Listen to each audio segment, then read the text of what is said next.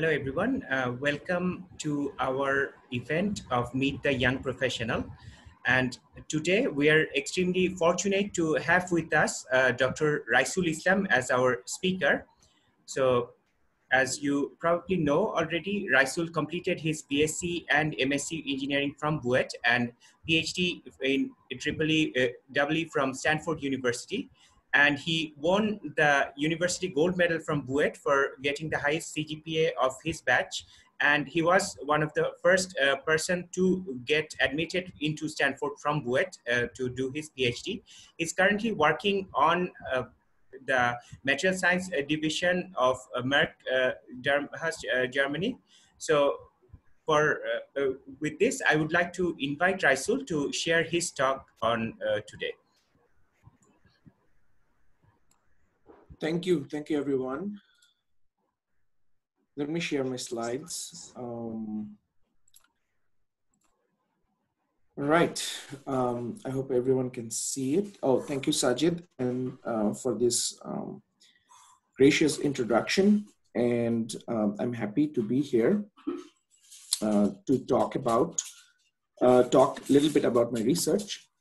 Um, so I, um, uh, before before diving deep into the technical part, I wanted to give a little bit of a background of what uh, Merck does and what EMD Performance Material does.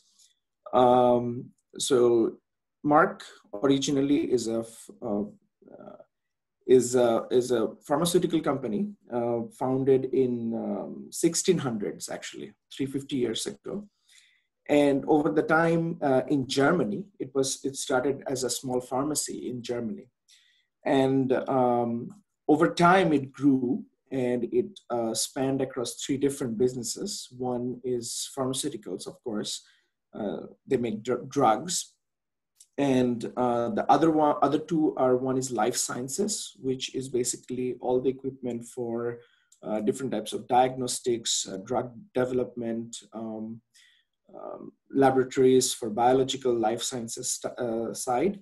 And then the third one is performance materials. So performance materials meaning uh, historically, they were in the business of uh, LCD, liquid crystal display. So they were one of the pioneers in um, LCD. And so recently they, they started looking towards the semiconductor industry. And so they recently acquired two uh, two companies. One is in the Silicon Valley called Intermolecular. That's where I am.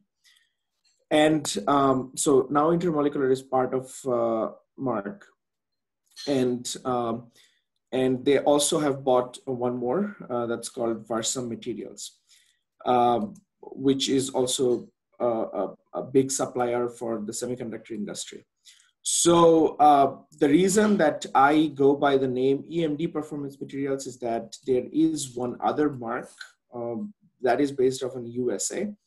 Um, so Merck cannot use their name Merck in the US and Canada. Outside US and Canada, they use Merck. All right, so with that, I would like to start my uh, talk. And uh, today, my talk is actually going to be divided into two parts. Uh, the first part I would be talking about actually uh, the general landscape of the memory uh, in the post-Moore's era. And the second part, I would be briefly discussing about one project that I've, I've worked um, and uh, uh, I've worked re uh, related to that part.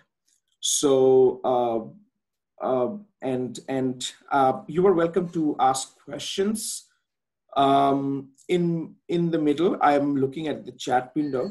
Um, if I find it it's better to be answered towards the end, I would uh, uh I would I would not answer it. Uh, but uh, don't don't think that I'm I'm not seeing the seeing the question. So I'll be answering it. All right. So let's let's look at uh, where we are today. So we live in the age of data. So it is expected that uh, that by the year 2025, uh, the amount of data in the world would be more than 150 zettabytes. And um, the volume of the data is huge now, but the data has uh, has always been uh, been there since the beginning of the the, the computing era, right? Uh, because computers were designed to actually crunch numbers. So why why are we calling this era the era of data? Because of the way the data is presented now, most of the data is presented now.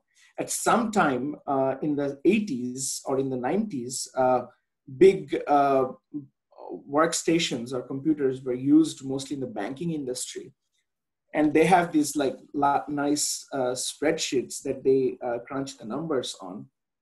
And and that's that's what it was most of the times. Um, uh, so the data was very structured. So now we have a variety of data, and this data is actually not very structured. And so that brings us into an opportunity and also a challenge. The opportunity being, um, how do we extract information from the data? So data itself doesn't provide information. So you need to learn from the data. And for that, you need to work on, the, on it.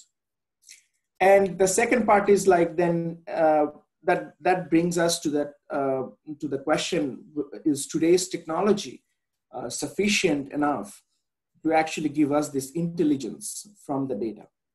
And that's where the artificial, artificial intelligence came in the picture.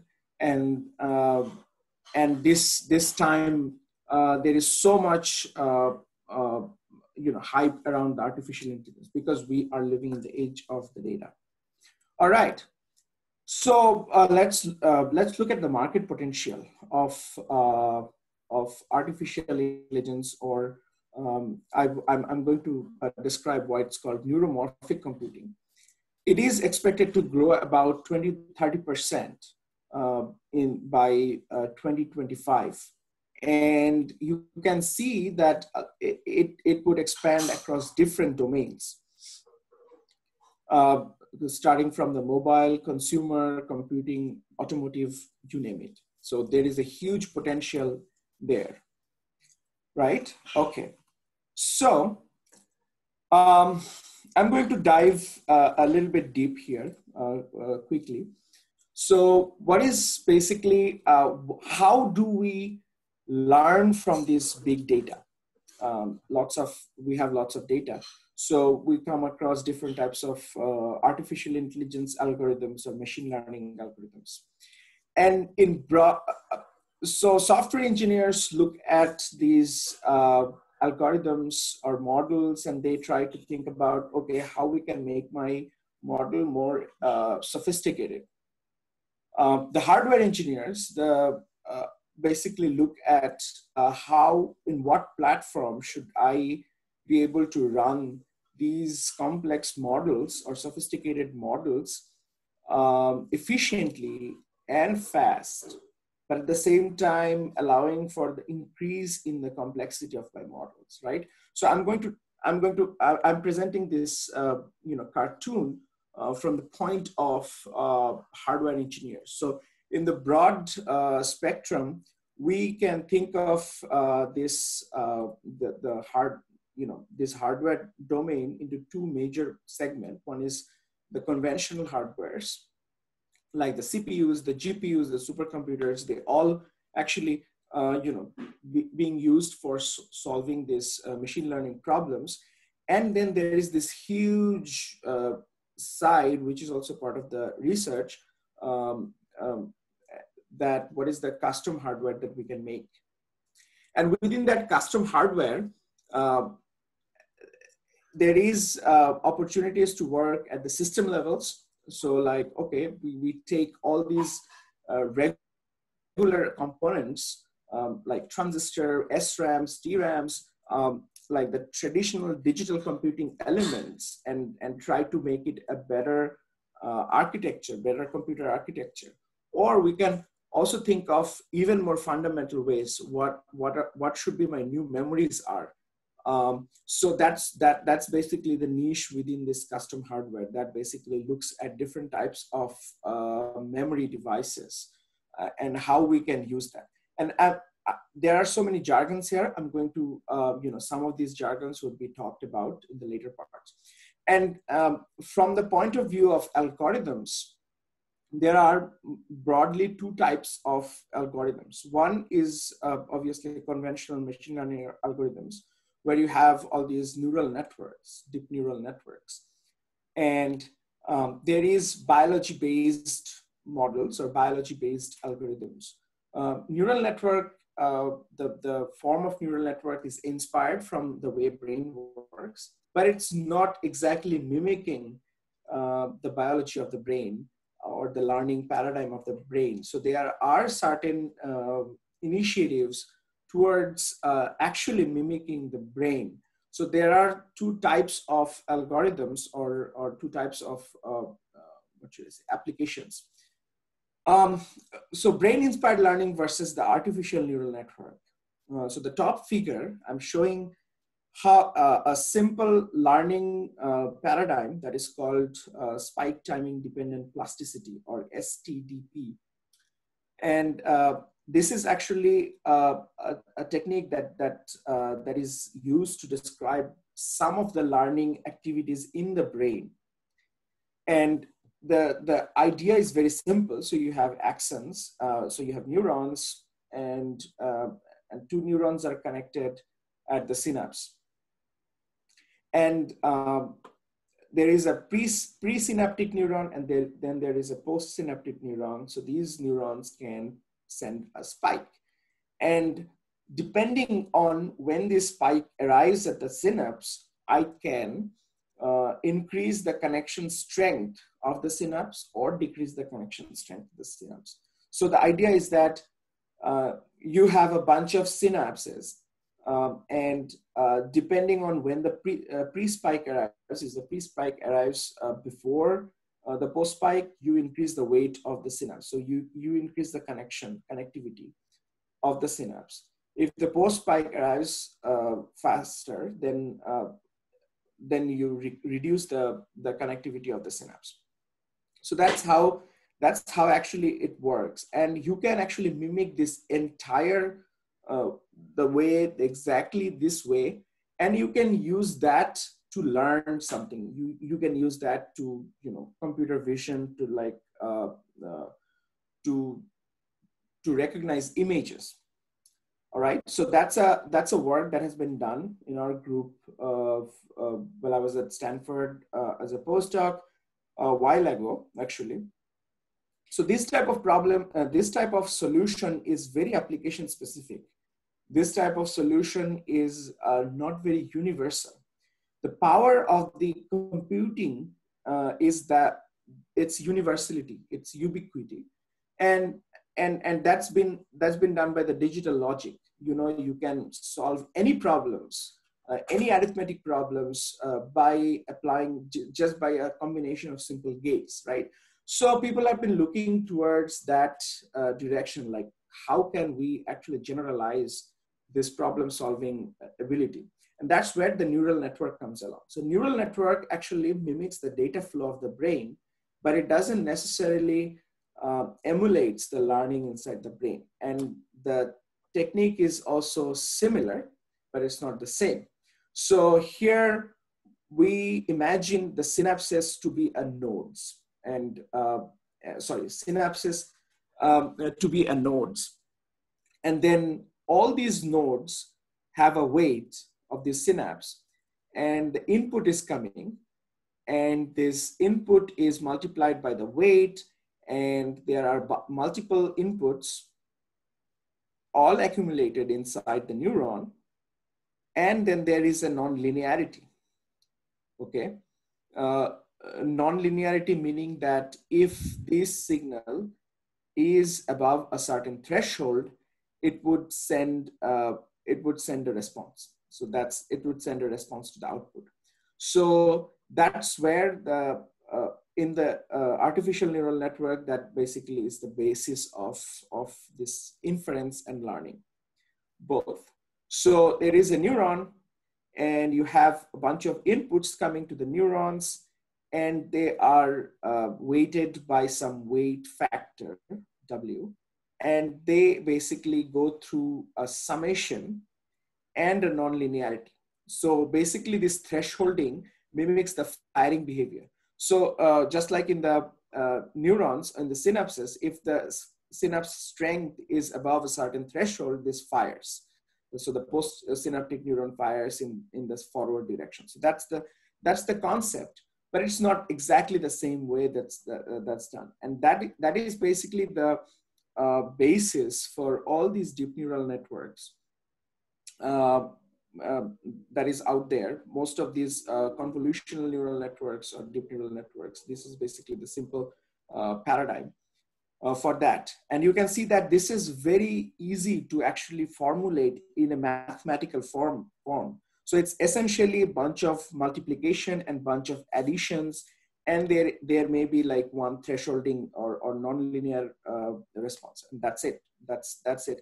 And any neural network is uh, can be operated in two phases. One is the learning when when we actually find the weights to solve a certain problem. That's what the learning is about. And then there is this called inference which means that we have the weights now. Now i have a new input and i want to see the output what, what is the output of this. So it's basically learning to actually recognize airplanes. So first I give, I feed my network with a bunch of uh, airplanes uh, pictures and it would learn. That means it would uh, set some W's, W uh, set of a W. And then I have a new picture coming in and then it would say uh, whether my um, output is, uh, whether it's an airplane or not. That, that's basically the whole structure. But what I'm trying to say is that this learning and this inference both can be um, uh, sh- shown uh, to, to, to be uh, forming the same type of mathematical models, um, just the multiplication and addition. The problem is that this is not very energy efficient. So this is an inferencing on the edge. Um, this this term edge uh, say, says that um, that you are doing this computation or intelligent computation not in the cloud but uh, at the at the that's why it's called edge where where the data is actually generated. So some decision making is possible. So it's basically a design of an in, intelligent drone. So the drone can you know it, it can navigate by itself so it, it needs to take the decision based on its surroundings. So it, it needs some computer vision. And this type of inferencing actually is very power hungry. Um, and you can see. And even when, you, when we talk about the learning, um, and the learning, most of the learning is done at the uh, uh, uh, level of uh, at the, at the clouds. And most of this uh, energy in the cloud is actually related to the energy and the thermal management. So that is a big component of the cost. So no matter what you do, whether you do it in the edge or you do it, go it in the cloud, it's always the bottleneck. So why there is this bottleneck? So we want to look at from this hardware point of view. So our main um, computing architecture is called the von Neumann architecture. It says that there is a compute element and there is this memory element and they are connected by bus. And traditionally it's, it's fine, uh, but the problem is when you have a big weight matrix, you have to store it in the memory. By saying memory, I'm talking, I'm saying about, uh, think of it as a DRAM, um, okay? Uh, not the, the flash or hard drive, that's the storage, long-term storage. So there is this memory and I have to load these weights to the CPU first. And of course, the CPU can actually also have memory that, that's called on-chip memory, and that's mostly SRAM. And then I have to do the compute and I have to go uh, store it back to the memory. And these network paradigm that I showed you, in a typical network, there could be hundreds of, or, or there would be, there could be tens of uh, layers and each of these layers can have a lot of nodes. So you, you can imagine there could be like gigabytes of data that is just your weight matrix. So you need to have a large on-chip memory.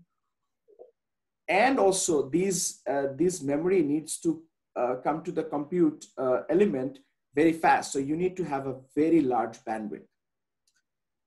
And uh, so that's what happens uh, these days. Uh, most of these energies is actually expended uh, by actually moving the memory back and forth rather than the compute because my compute element is now very fast. It can have multiple cores and whatnot. So the left figure shows um, what would happen if I want to perform some of these neural network models. Um, AlexNet ResNet 150 language model at a state-of-the-art Intel CPU with eight cores and 128 gigabyte DRAM. Most of these energies is actually expended in the memory, uh, or uh, in other words, transfer, transferring the data back and forth from the, from the memory. So that's bad. Number two is that the bandwidth is not enough. Uh, right side, I'm, I'm showing how the, as, as my input image size increases, and I'm trying to solve a computer vision problem at different uh, uh, models, uh, I can see that the IO bandwidth increases significantly. And from AlexNet, AlexNet is kind of old, uh, ResNet is few years ago old, and VGG is, is pretty new. These newer algorithms or newer models are even more data hungry. And so they need a lot of IO bandwidth. And this current hardware paradigm cannot actually provide these bandwidths. So this is a NVIDIA Tesla GPU with uh, four DRAM stacks, high bandwidth. Still, it's not enough if you just go above uh, 10 megapixels input image. So if you think about, okay, I'm gonna do some image processing on my camera. So these days cameras are way above 10 megapixel easily. So forget about it. It's, it's not gonna happen, at least in these today's, um, uh, today's hardware. So that, that's basically the challenge. The other, other challenge is the cache memory size. Um, so, the, so one of the other ways that we can solve that problem is that by increasing the amount of the cache. And you can see that the cache is not going to be enough. Even if, if you go forward, um, even if you increase the, uh, the scaling, you can at best get 3.8 gigabytes of memory at 1.4 nanometer node. That's an estimated number. And you can see that this uh, model accuracy of neural networks actually critically depend on this, uh, on the model size. So, uh, so the cache memory will never be enough because it, it, it is too much area hungry. So one SRAM will need six transistors. So it's kind of not doing uh, good. So what is the solution that people are still doing right now these days? So in order to solve the bandwidth problem, uh, people are trying to stack everything close to each other. So instead of having 2D integration, people are talking about the industry is going towards 2.5D. Here, there is this logic and there is this DRAM, and they are connected on actually this, this type of package is called system on a chip, where they are connected uh, through this micron size interposer, interposer layer, okay? So this provides, this brings the DRAM very close to the logic and increase the bandwidth. So these are high bandwidth memory. So this is one of the solution that people are doing and still it's not enough. And uh, one of the other uh, option that industry is working on is to actually look at the problems of these neural networks and then uh, try to come up with intelligent ar- architecture. So that's where the GPU comes along. Because all of these uh, neural network problems usually have similar types of data packet. So you can divide the data packet into multiple compute cores, and each of these cores have, have its own cache and uh, have its own ALU. So increasing the number of cores is kind of what is being done in the GPUs. But GPU is very good for the similar type of data packet. It's not very good for dissimilar type of data packet. And that's where the multi-core CPU comes along. So that's the, that's the client side. For, for, the, for the data center side, there are also uh, high performing GPUs which, which uses this type of uh, high bandwidth memory. So this is an NVIDIA chip with the GPU itself in the center, the side are all the high bandwidth memory. So this is in itself one chip. So this this this type of uh, system called system on a chip. Even this type of uh, things is very power hungry. So it consumes 250 watt and it can provide 900 gigabyte per second memory bandwidth. Still, it takes five hours to train a ResNet network. So imagine. And for the edge devices, for the mobile device like Apple uh, A11, they, ha they have the Bionic uh, on-device uh, learning chip. Uh, so they can only do inferencing. So they don't do learning. So they, they are limited in application. This type of device is just, uh, this type of system is just a a smaller version of a GPU. So maybe instead of like having more cores, they have less cores, and that's that's it. But these are these solutions are not adequate. Why? Because the ultimate solution is that um, the ultimate solution is going 3D. So my 2D uh, is uh, is not sufficient. So I have to go up forward. So that, that's why actually Moore's law didn't say that the transistor size is going down. So this was Robert Dennard who actually came up with this uh, scaling theory that how you can increase the transistors in the, in the chip. Moore actually just said the transistor would be doubled and that's it. So Moore's law actually is not going dead. It's, it's going 3D. So this is this kind of system has been proposed by Stanford uh, and being worked on. So this is like monolithic integration of um, logic and memory uh, with multiple levels of memory, and uh, there are some compute elements, and they are connected via like fine-grained vias. So they will have massive connectivity.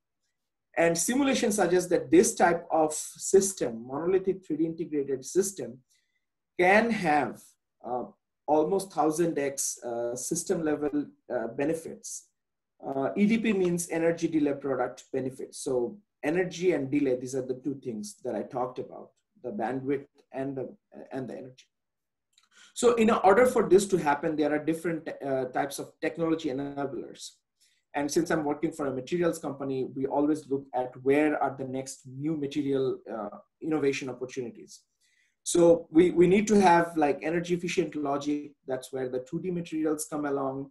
We need to have on-chip non-volatile memory, which are massive in size. So that's where all these emerging non-volatile memory comes along. And then we, we need to have this ultra-grained, uh, sorry, fine-grained 3D integration. And that's where all these interconnect materials, what kind of thermal uh, barriers we need to have. So that's where all these uh, innovation in, in terms of the materials comes along. All right. So um, now let's look at some of these emerging new memory uh, technologies that people have been looking into. Uh, these memories, the way they are, they can be integrated on top of the chip. They're not like SRAM.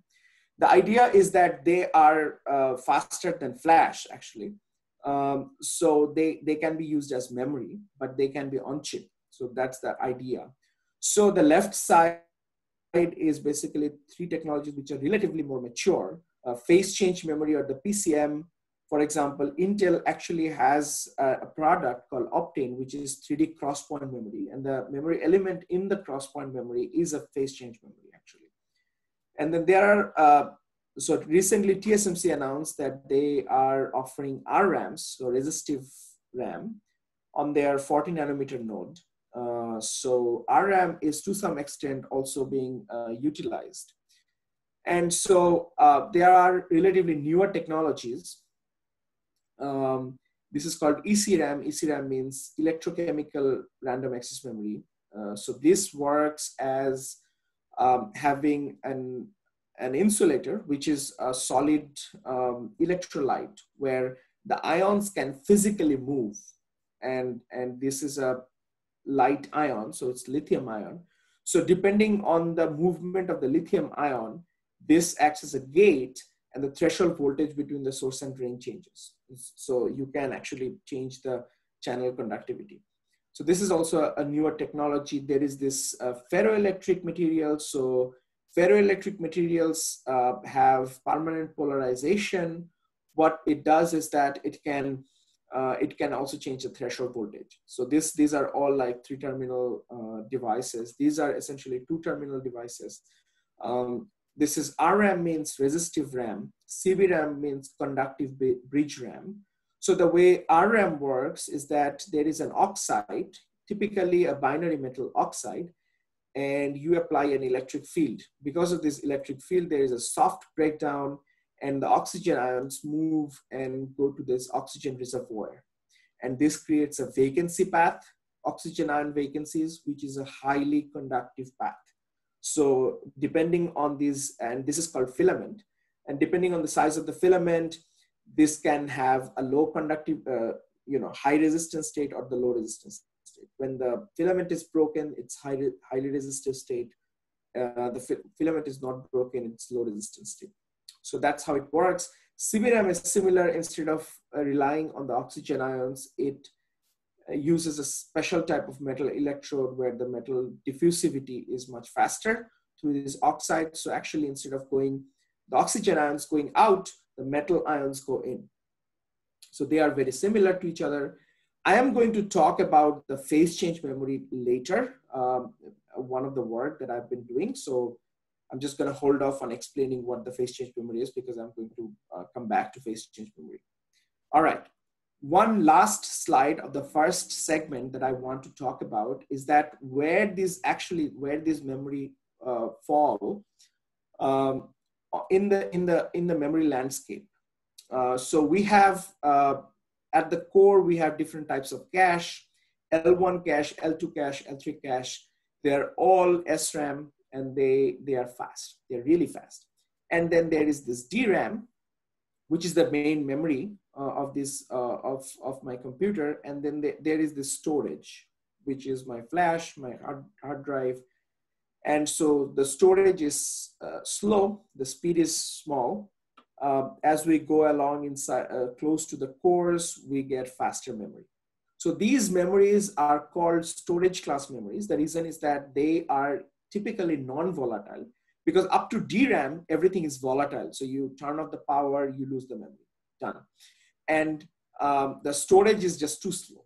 So these type of uh, memories are non-volatile, number one. Number two is that they can, they can be faster.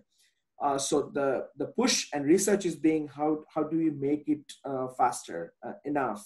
How do we make it uh, you know, scalable enough? Those, those kind of things. So they actually are not that fast as, as an SRAM, but they would still be faster enough compared to DRAMs or other like L3 cache. So most of these uh, offerings, product offerings by, let, let's say, for example, TSMC, actually is to replace the L3 cache.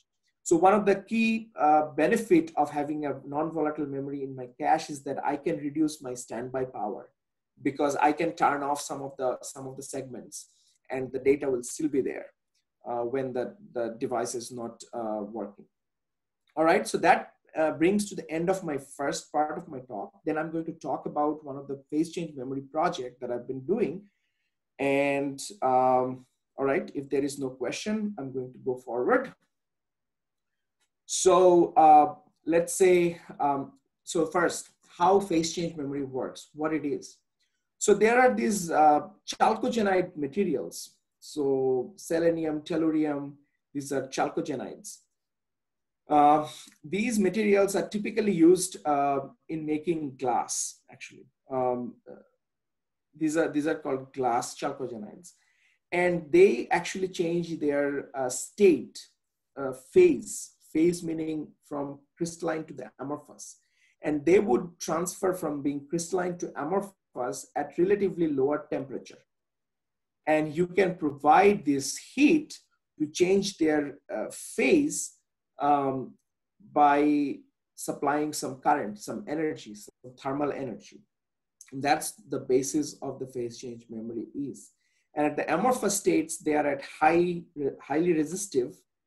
At the uh, at the crystalline state, they are very low resistive. So that's how you can differentiate your ones and zeros and you can have a memory.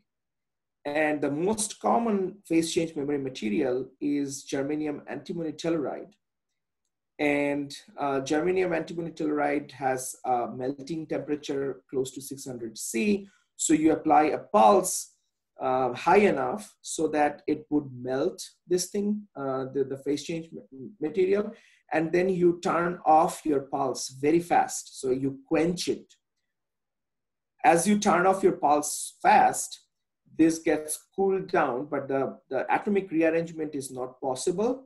So uh, to have it crystalline, so this becomes uh, amorphous material. In order to do the set, you have to bring the temperature at least up to the crystallization temperature, where the crystal, um, uh, you know, the atomic species can move to some extent, and you uh, turn off the pulse slowly so that it has enough time to actually rearrange themselves. So that's where, uh, uh, that's what the, the mechanism for phase change memory is. This is the most common uh, architecture of phase change memory. So there is the phase change memory layer, and there is this top electrode. The bottom electrode looks like a small, like a, you know, small cylinder pipe, uh, because I need I need a confined heating. If I make it too too wide, this heater, then uh, I will need a lot of current to actually being able to, you know, melt this thing. So that's why my heater is very confined. So this type of cell design is called a mushroom cell because it looks like a mushroom, right? So this is my switching re region. So that's where all these like changing between amorphous to crystallization happens. Okay, uh, so that's basically my uh, phase change memory. So phase change memory actually requires a selector. Uh, selector is just a gating device or a device that can that is volatile that that switches between um, really high resistance and really low resistance right so this selector acts as when whenever i want to select this device i would use this selector uh, and you know if the selector is turned off that memory cell cannot be accessed that's it and so the selector, since these are two terminal material, I need a two terminal selector. I can use transistor as a, as a selector, but that would just, uh, you know, that would not serve the purpose of my scaling on, on chip. So these are some of these uh, die pictures from Samsung and Intel that shows these, uh, these memory layers are actually on chip. So this is logic, and this is where the cells are and this, these are the metal layers. So these are 3D integrated memory chip. This is Intel 3D cross-point memory chip. All right, so all these things need a selector. And the problem is that that means selector needs to provide me the current that is required or the current density that is required to switch uh, phase change memory devices. The problem is phase change memory actually takes a lot of current especially during the reset process. As I showed to you, the, the, I need to reach at least to the melting point, right? So I need to actually increase the current so much so that it, it actually melts.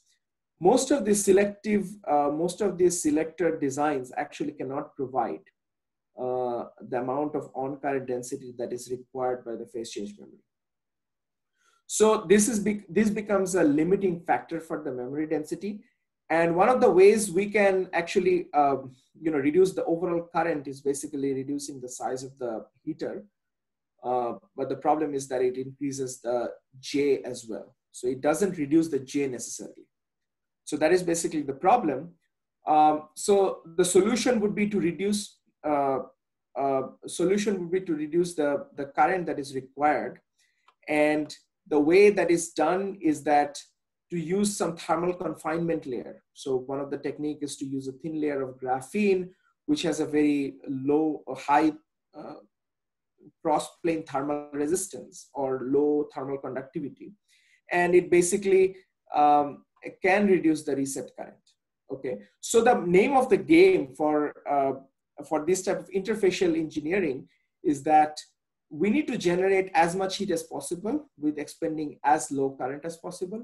We need to generate the heat close to the, the switching material and we need to avoid the heat loss. So this type of technique with the graphene just only avoids the heat loss and that's all. Now we um, recently I came up with this idea, and I also work with one of uh, other fellow Buetian um, uh, when I was a postdoc and uh, at Stanford. That's where I came uh, up with this idea: is that hey, how about we can uh, utilize the thermoelectric heating because there is this Joule heating, which depends on the I square R. There is this Peltier heating, which is the opposite of the Seebeck effect. And that tells us that if every, um, so if we have two different materials form a junction and two junctions have two different temperatures, um, then I will have an electromotive force between these junctions. That's the thermoelectric effect. That's called Seebeck effect. The opposite is called Peltier effect is that if I have an electromotive force or the current uh, through a junction, which have different Seebeck coefficient, I will have a heating depending on the difference of the Seebeck coefficient. So GST has a Seebeck coefficient, uh, moderate Seebeck coefficient to 40 to 100 microvolts per Kelvin. And bismuth telluride is another thermoelectric material which has relatively large negative Seebeck coefficient. So you can have really high delta S. And actually this, this, is, this is the, uh, the main technique that people use for making thermocouples, right? Or thermoelectric, uh, you know, thermoelectric generators, electricity generators. So the opposite effect. So we took that, we took that idea and we implemented that here. It's shown here with the 50 nanometer GST, with the four nanometer bismuth telluride. And uh, this is our first, first device. And we were able to see a very significant reduction in the, in the, in the reset current. So this is basically low resistance state. This is high resistance state. We can, uh, you know, we see that this transition happens at much lower temperature when there is a bismuth telluride. And this process is also scalable as we scale down the bottom electrode or the heater diameter, we can also see the current um, goes down. So that is very encouraging. And one of the things that we need to see that the current is basically reduced. What about the voltage? Or what is the voltage that is needed? So we see that the voltage is also reduced. So it, it means that the heating is coming from the, the, the heating, Peltier heating, and not from the additional series resistance that is, that is added by the bismuth telluride. In fact, bismuth telluride is so thin that the series resistance um, is not a big issue. Um, so we see ultimately a 2x power reduction here in the bismuth telluride. And this, this device is very stable and we can switch these devices back and forth between low resistance state to the high resistance state up to 10 to the power 5 cycles without, uh, without any failure at room temperature. Now the question is, uh, is, the, is the thermoelectric effect really the, the the issue that is actually causing this improvement or there is something else. There could be the fact that this almost seems like an interfacial layer. And so this, this would add some thermal boundary resistance. Would that actually impact uh, these, uh, uh, the, the, the reduction in the reset current? We saw that, the, uh, first we proved that this is indeed a thermoelectric effect one proof, a very simple proof between uh, differentiating Peltier heating and thermo, uh, Joule heating is that Joule heating is um, polarity independent. So Joule heating is always I square R. So it doesn't matter whether you change the polarity of your current. Whereas Peltier heating is actually dependent on the polarity of the current. Um, so if you change the polarity, heating would become cooling and the other side would become, uh, would start heating. So we see significant change significant degradation if we reverse the polarity of the current. Uh, we can see the uh, significant change in the reset process. Whereas when we do that for the simple devices where there is no bismuth telluride, uh, we don't see as much difference as we were expecting to, uh, we were seeing in the bismuth telluride devices. So this suggests that this is indeed an thermoelectric heating. Moreover, we have uh, measured the thermal boundary resistance at this interface with the bismuth telluride and without the bismuth telluride. We see that the, the, the difference is very small. All right, and then finally, we want to actually uh, benchmark this device. Where are, are we, um, uh, you know, sitting in terms of uh, other devices that are reported? We, we see that we have a significant reduction in the reset current density. Um, and this is on par with even the, the confined cell uh, design. So as I said, these are the mushroom cell. And uh, in order to actually confine the heat, there are other techniques that people have worked on. One of the technique is that uh, if I go back here, uh, instead of having this GST layer all the way, you basically start confining this, this region by some dielectric, which is low thermal conductivity. So that adds to the more uh, process complexity. So you need more litho steps, you need more etching steps. So that's that's a that's a problem. Uh, with respect to that, this technique is very scalable because it's just a, a, just a new material, and already it can beat the confined cell structure. There are some recent uh, devices which are super lattice structure phase change memory. This, this, is, this is a different class of memory, so that's different. But at least with us, the mushroom cell kind of structure, this uh, bismuth telluride is much more uh, you know, effective in reducing the reset current density. And bismuth telluride is just one material, and there are so many other, and it's not the most optimized material. So there are so many opportunities in finding the different materials um, uh, to actually you know see what kind of um, reset current reduction we can we can get. And um, the idea is that the larger the difference between the Seebeck coefficient the the, the more um, um, Peltier effect we will see and that will reduce the reset current even more. With that I would like to end and thank you all for listening um, so now I would like to um, answer the questions. I think uh, I think I should open the floor. And um, first, I I'm going to read some questions from here that I found. Is there any difference between basic working principle between ECRAM and RM? What I understand is that ECRM is a three-terminal device with changing concentration of lithium ions inside the channel, while RMs have two-terminal devices that explore changing concentration. Yes, there is actually um, there is a significant um, difference. Actually, let me go back to that slide um, to see what is the difference. There is significant difference. Number one, this is uh, reaction, uh, you know, this is a soft breakdown process in the oxide. The oxygen ions move. Here, there is an actually lithium reservoir, and this is a diffusion of lithium inside, inside this oxide. It looks a little bit like CBRAM, but um, this requires a very sophisticated um, uh, solid state um, uh, solid state uh, electrolyte and most of the solid state electrolytes actually work slightly high temperature.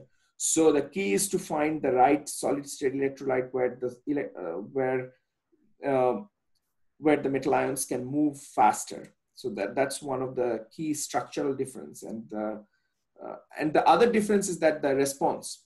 So it's shown that this uh, ECRAM can actually switch between low, lowest resistance state to the highest resistance state very gradually.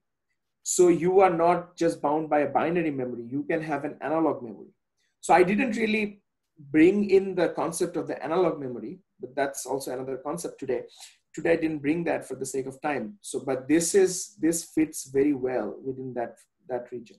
That's why it's it's it, it has got so much so much interest.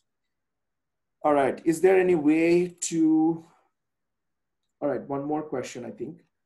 Is there any way to increase or reduce the area of the switching region? Is there any effect of switching area, changing area of switching region on time it takes for reset and set? Yes, that's true. Um, there is a way to increase or reduce the area of the switching region. Um, well, two ways. One is to actually reduce the, I, I'm guessing you are talking about the phase change memory. If, if it is, you can actually uh, change the area of the heater.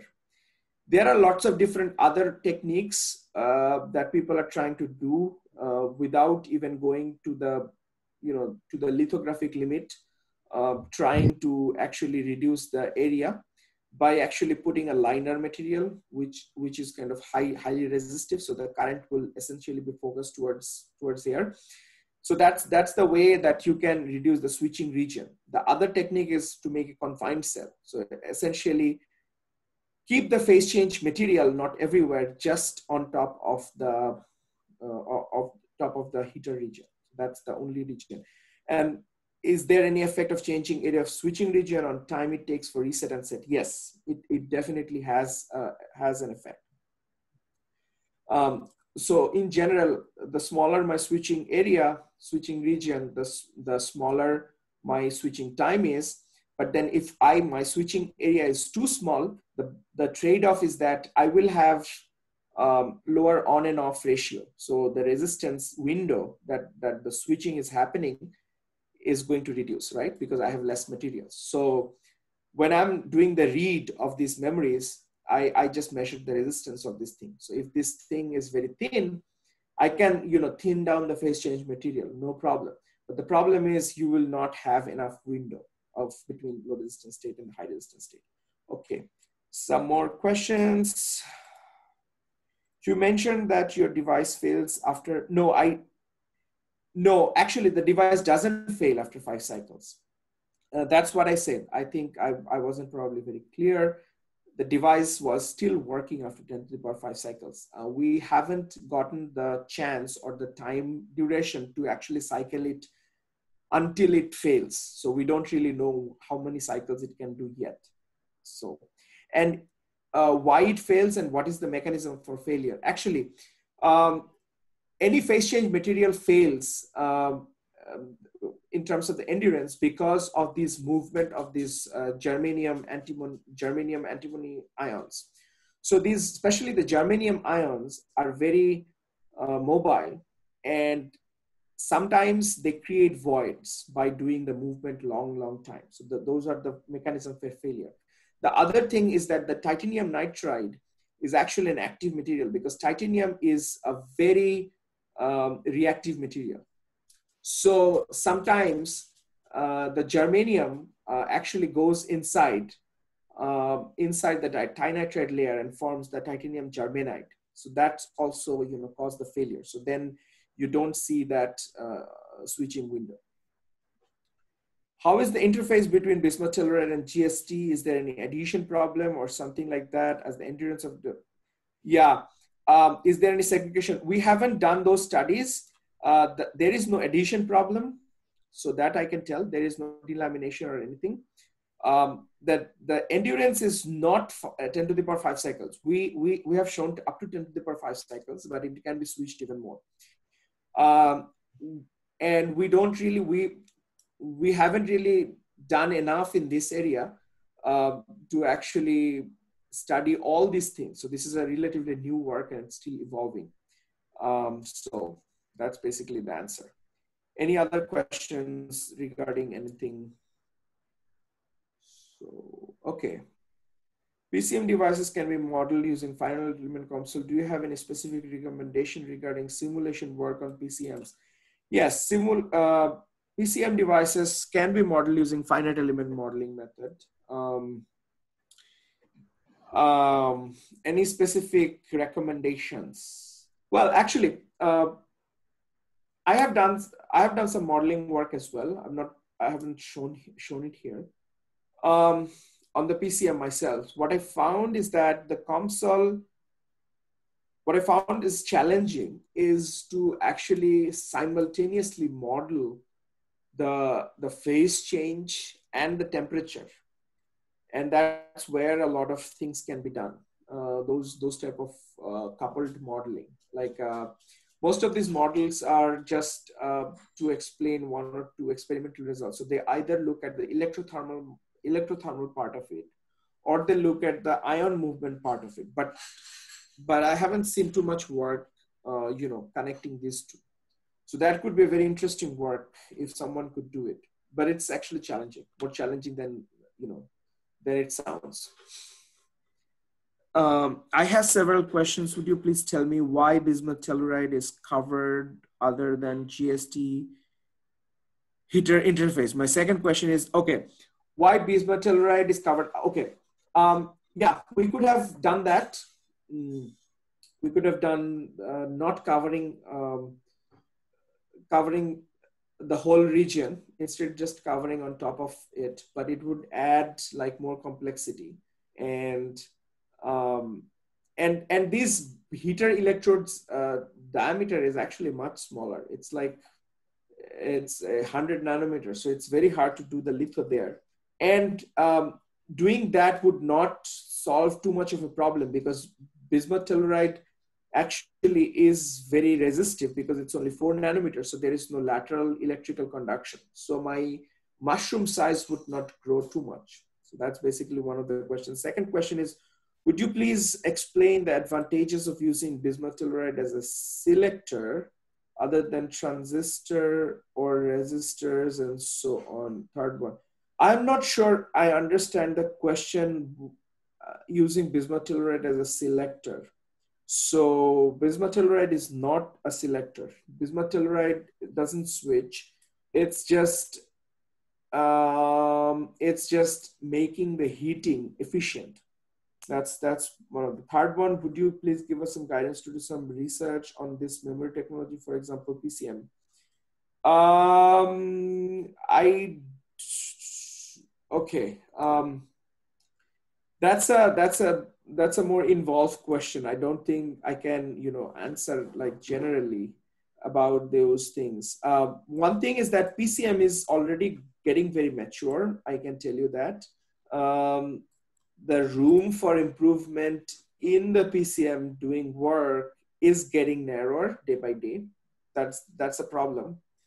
And so people are moving towards the superlattice kind of PCM or IPCM. So I would suggest you start looking there if you really want to work there because that that part is still very new so and if you if you have any specific research question we can you know take it um, you know personal chat all right any other question i don't see any other question you can you don't have to write the question you can also like ask if you like with the voice any comment on retention of the devices? That's a good question, actually. Yeah, we haven't done that retention study. Um, let's see uh, what the reviewers ask. Maybe the reviewers would ask the retention study and we have to do that. Um, it's a relatively new work, honestly. Uh, what are the target applications for this type of PCM devices as front runners like Intel and ST Microelectronics mostly focus on automotive applications? You know, um, the target applications for this type of PCM devices is essentially a fast on-chip memory. Uh, that was the basic um, basic application. Now, whether the chip would be used in automotive, that's a different question. So, you know, automotive has a different set of uh, requirements. Uh, it needs to operate at high temperature. It has like high reliability uh, requirement.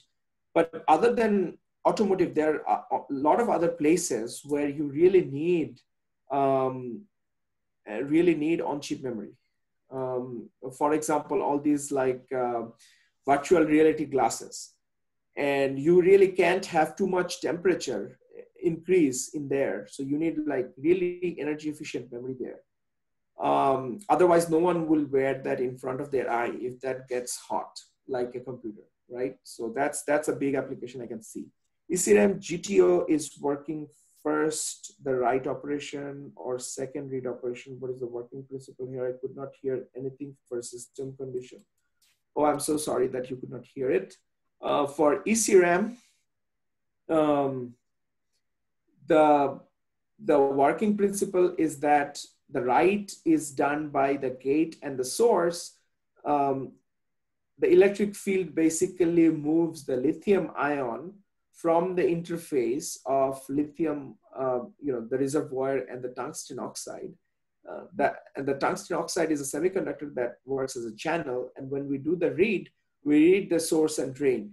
And depending on the concentration of uh, lithium ions at the interface, um, the threshold voltage is going to change. And so you would see different conduction, conductivity uh, that you can measure between the source and drain. And that's how, um, that's how the ECRAM works. Yeah.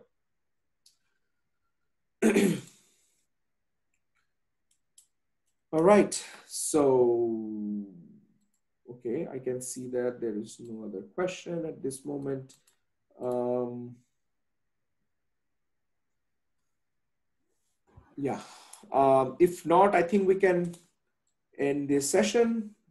So Sajid, I want to, you know, well, thank you so much, uh, Raisul, for uh, coming today. And uh, before we conclude, I would like to uh, ask everyone for a group photo. So if you're comfortable, please uh, go ahead and um, turn on. Sure, your, I can turn on. I can turn on my video. Sure, sure, no problem. And I think um, let me. Uh, just a second. How do I turn? Let's let me first. Uh, okay, yeah, I know how to do that. Start the video. And uh, thank you so much, everyone, for uh, com coming today. I see a lot of our uh, old uh, students uh, here as well. And uh, I see Dr. Mainul from Dhaka University, he's among us. And a lot of the graduate students of uh, BUET, they also came today.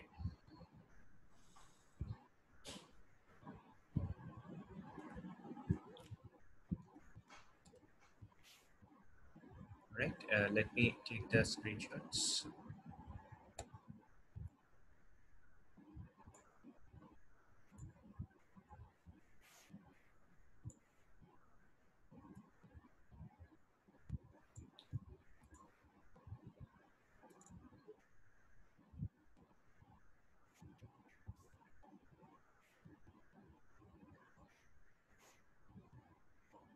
Okay, uh, I'm all done. And uh, thank you so much, Raisul. It was really nice to hear the talk and learn about all the uh, different uh, technologies of uh, memory that is are there.